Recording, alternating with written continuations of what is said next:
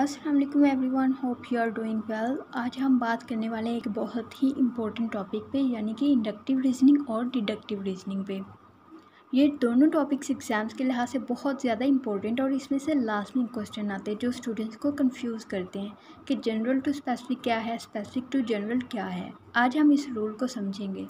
लेकिन सबसे पहले हम देखते हैं रीजनिंग क्या है। Actually what is reasoning reasoning derive किया गया है रीज़न से और रीज़न होती है वजह। यानी सही वजह को जानना रीजनिंग होता है। जैसे आप कोई काम कर रहे हैं तो उस काम के करने की कोई ना कोई वजह तो होगी। इसको कहते हैं रीजनिंग जब किसी क्वेश्चन का आंसर फाइंड करते हैं तो रीज़न ढूंढते हैं। फॉर एग्ज़ाम्पल अगर आपके सामने एक क्वेश्चन है, एक एम सी क्यू है, उसका आंसर सी है तो उसकी रीज़न क्या है? किस बेस पे उसका आंसर सी है? अगर उसका आंसर डी है तो किस बेस पे उसका आंसर डी है? इसकी रीज़न क्या है? क्वेश्चंस को हम केयरफुली पढ़ते हैं, पढ़कर फैक्ट्स ढूंढते हैं, उनका लॉजिक के बेस पे उनका रिलेशन बनाते हैं और सारे फैक्ट्स का एनालिसिस करते हैं। इस तरह से हम आंसर को फाइंड आउट करते हैं। रीजनिंग की अगर डेफिनेशन देखें reasoning is the process of thinking about things in logical rational way चीज़ों को लॉजिकल या रैशनल वे में सोचने, समझने के जो प्रोसेस है, उसको कहते हैं रीजनिंग रीजनिंग हम यूज़ क्यों करते हैं? इसको हम यूज़ करते हैं डिसीज़न मेकिंग के लिए प्रॉब्लम्स को सॉल्व करने के लिए और चीज़ों को इवेलुएट करने के लिए। अब हम पढ़ेंगे टाइप्स ऑफ़ रीजनिंग रीजनिंग की मेन टू टाइप्स हैं। First one is inductive reasoning and the second one is deductive reasoning इनको डिटेल में डिस्कस करते हैं एक्चुअली इंडक्टिव और डिडक्टिव रीजनिंग क्या है और साथ ही इनकी एग्जांपल्स भी देखेंगे। रीजनिंग के इसके अलावा भी कुछ टाइप्स हैं, लेकिन वो टाइप्स इन्हीं दो टाइप्स से ड्राइव की गई हैं। सबसे पहले हम पढ़ते हैं इंडक्टिव रीजनिंग क्या होता है। इंडक्टिव रीजनिंग को समझने से पहले इंडक्टिव वर्ड का मीनिंग समझना होगा।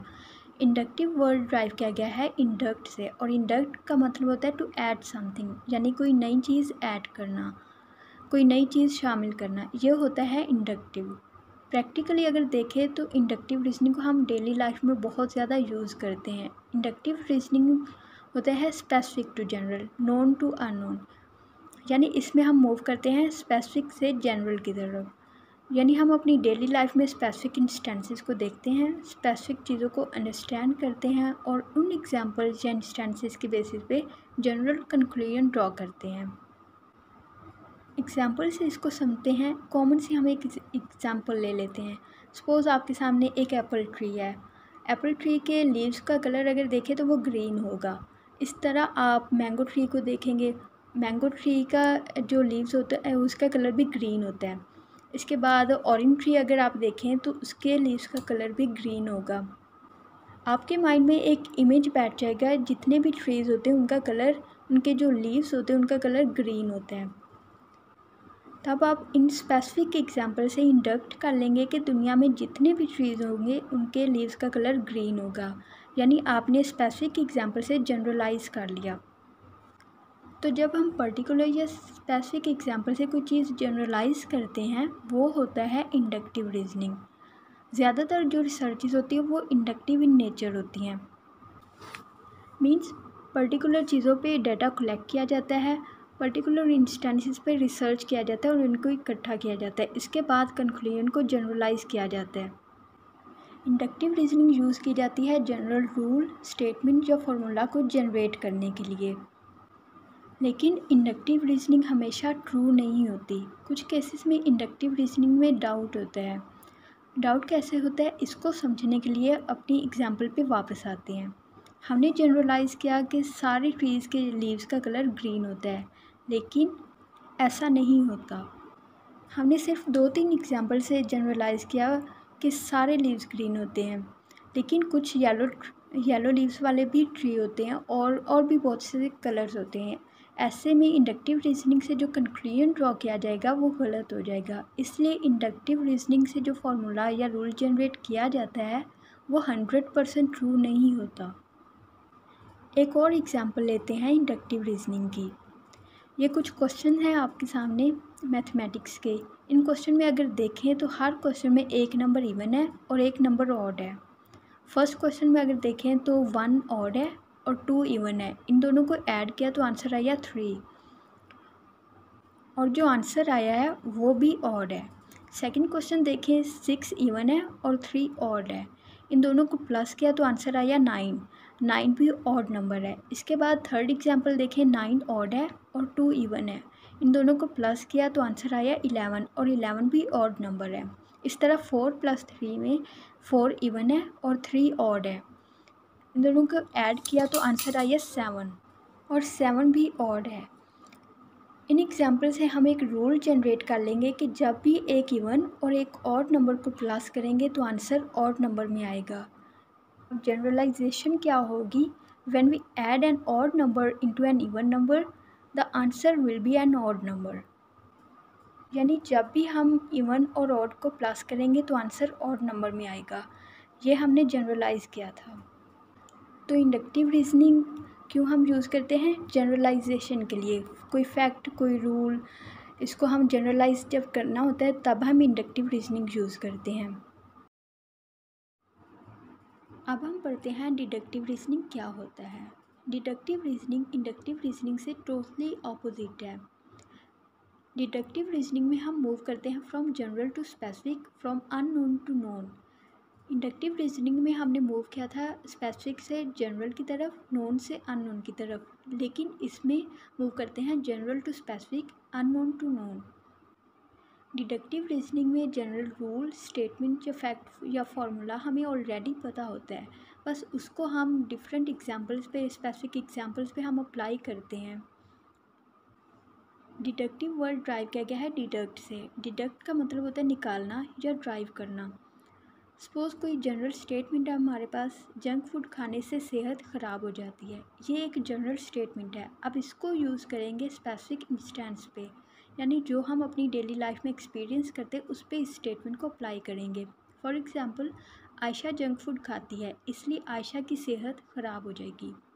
जंक फ़ूड खाने से सेहत ख़राब होती है ये एक जनरल स्टेटमेंट है। और हमने इसको अप्लाई किया पर्टिकुलर या स्पेसिफिक इंस्टेंस यानी कि आयशा पे।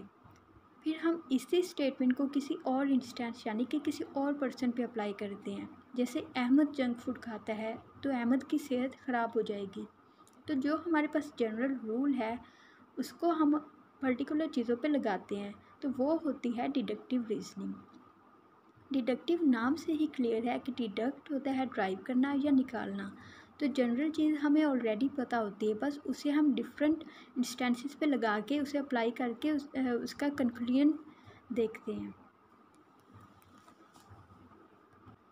बेसिकली डिडक्टिव रीजनिंग बेस करती है इंडक्टिव रीजनिंग पे।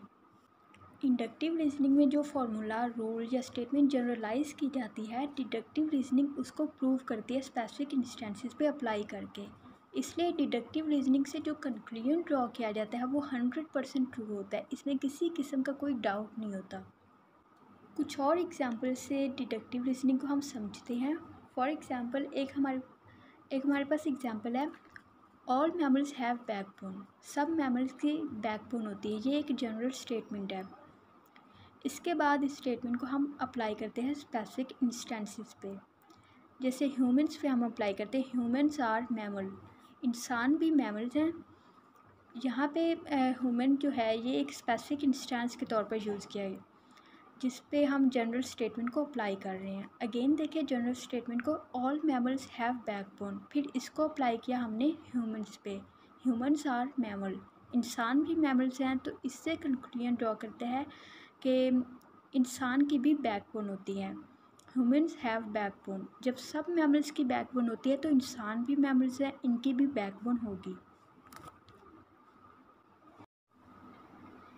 एक और एग्जांपल लेते हैं। अब हमारे पास जनरल स्टेटमेंट है ऑल प्लांट्स परफॉर्म फोटोसिंथेसिस तमाम प्लांट्स फोटोसिंथेसिस करते हैं, फिर इस स्टेटमेंट को हम अप्लाई करते हैं किसी स्पेसिफिक प्लांट के ऊपर। फॉर एग्जांपल हम अप्लाई करते हैं इसको कैक्टस के ऊपर। Cactus a cactus is a plant cactus भी एक तरह का प्लांट है। जब सब प्लांट्स फोटोसिंथेसिस करते हैं तो कैक्टस भी एक प्लांट है। डेफिनेटली वो भी फोटोसिंथेसिस करेगा। तो कंक्लूजन हमने ड्रॉ किया cactus performs photosynthesis general statement हमारे पास थी ऑल प्लांट्स परफॉर्म फोटोसिंथेसिस इस स्टेटमेंट को हमने अप्लाई किया कैक्टस पे। A cactus is a plant conclusion हमने ड्रॉ किया कैक्टस परफॉर्म्स फोटोसिंथेसिस ये थी डिडक्टिव रीजनिंग जिसमें हम रूल या फार्मूला या स्टेटमेंट को प्रूव करते हैं। इंडक्टिव रीजनिंग में हम general to specific move specific to general move करते हैं और डिडक्टिव रीजनिंग में जनरल टू स्पेसिफिक मूव करते हैं। ये इनमें मेन डिफरेंस है।